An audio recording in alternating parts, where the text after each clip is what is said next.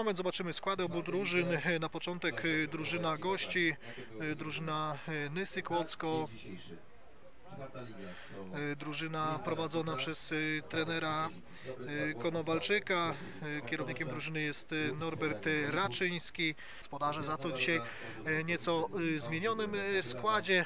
W ramce niezmiennie Marcin Jaskółowski, później kapitanem zespołu w miejsce Rzeszuta Łukasz Samiec, też pisany sam Kamil Jasiński y, jako zawodnik, który ewentualnie mógł pojawić się na boisku. Zdecydowanie więcej y, będzie miał tutaj do dyspozycji rezerwowych trener z gości. Ta liga wyglądać w późniejszym fazie sezonu. Tobie też już Nysa spokojnie tutaj może rozegrać kolejną akcję. Dobry pomysł. Y, Są już goście na wysokości pola karnego. Teraz dośrodkowanie y, na piąty metr. Santos y, przed pole karne. No i tutaj była okazja do tego, by oddać strzał na bramkę.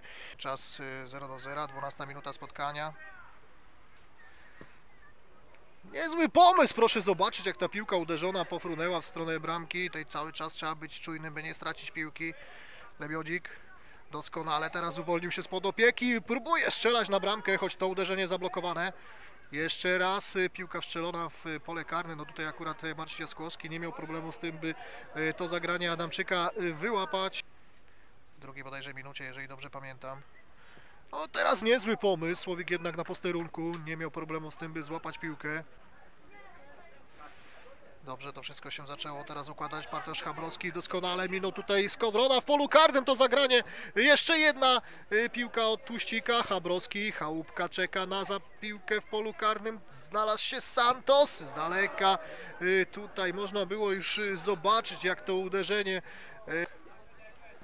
no i teraz akurat Janiak uwolnił się spod opieki. Konowalczyk ma trzech rywali przed sobą. Janiak no tutaj samiec y, zaskoczony, piłka zagrana o jego nogi. Y, y, Marcin Jaskółowski. Teraz jeszcze raz w polu karnym, niebezpiecznie. Gnojnicki blisko brambosz czy prosty bramkarza.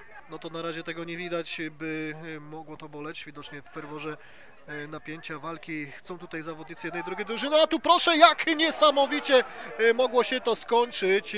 Więcej, na razie Tobiasz jednak cały czas uparcie prawą stroną. Chałupka dośrodkowanie w pole karne. Habrowski! Było tutaj blisko uderzenia, ta piłka zablokowana.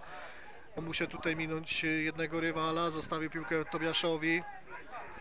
Santos ma bardzo dużo miejsca na lewej stronie, może tutaj szukać dośrodkowania. Santos y, w pole karne i Chabrowski nie trafia teraz w bramkę. Świetna okazja dla zdroju, taka wypracowana. Gracza podbiegło. Dobrze, świetnie, Chałupka, Tłuścik y, indywidualnym pojedynku z Konowalczykiem, Tłuścik w polu karnym. Y, No i teraz tutaj Chabrowski ponownie y, upomniany przez sędziego. Z lewej moment y, wyczekiwania, z, sprawdzenia na jakim etapie y, po przerwie są y, obie drużyny. Tutaj zawodnicy jednej i drugiej drużyny na pewno będą musieli szukać tego rozwiązania, które y, dałoby coś się drużynie.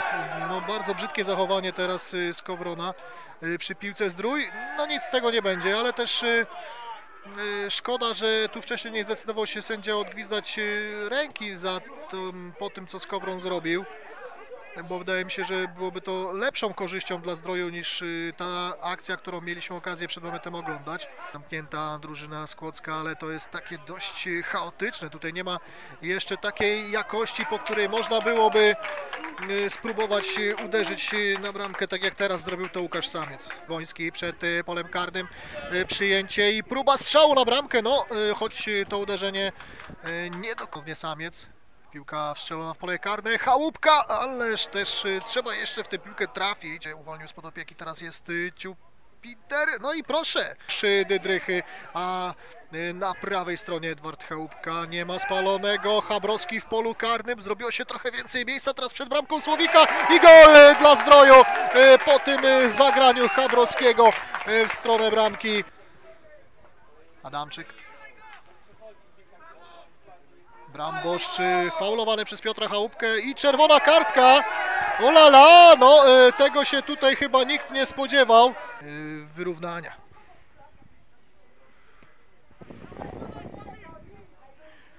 Jest uderzenie na bramkę Jaskłowskiego. Pierwsze takie w tym spotkaniu też. Jest y, Ciupider.